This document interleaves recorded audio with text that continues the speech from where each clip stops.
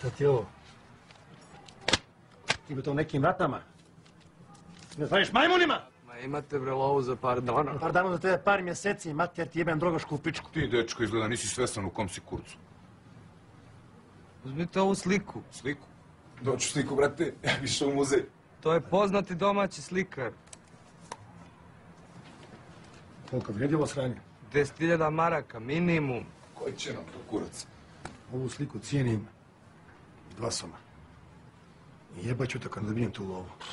Pa ne mogu ti dam tu sliku za dva. Pičko, smrdljiva, ovo ti nije pijaca, s nama nema pregovora.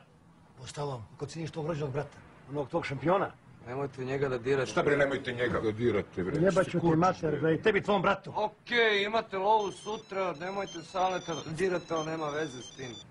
Hello? Oj, ali... Libo. Jel, koliko vrijedi ovo sranje? Ne vredi to ništa. Stipu to, brate.